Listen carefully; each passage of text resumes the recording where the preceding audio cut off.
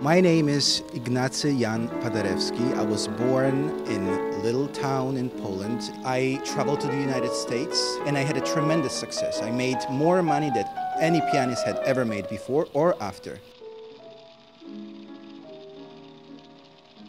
I was also extremely active in a political scene. I had a meeting with President Woodrow Wilson, whom I persuaded to help uh, in establishing Polish state.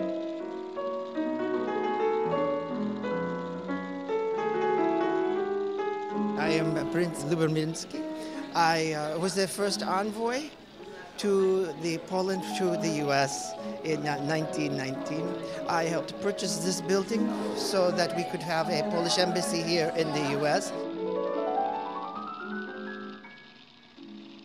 I'm Pola Negri. I am from Poland. At that time, it was a little town. It was uh, still part of Russia. Um, I'm a movie star, uh, among other things. I'm also a dancer. My love, unfortunately, died of Rudolph Valentino. Remember him? But then I moved on to Charlie Chaplin.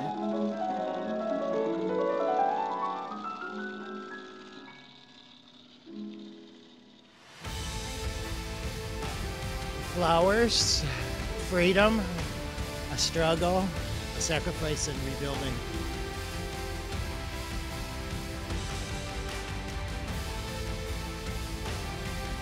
My husband is stationed at Naval Station Redzikowa. We appreciate the culture in Poland and we really love love going there. Mom and dad are from Poland.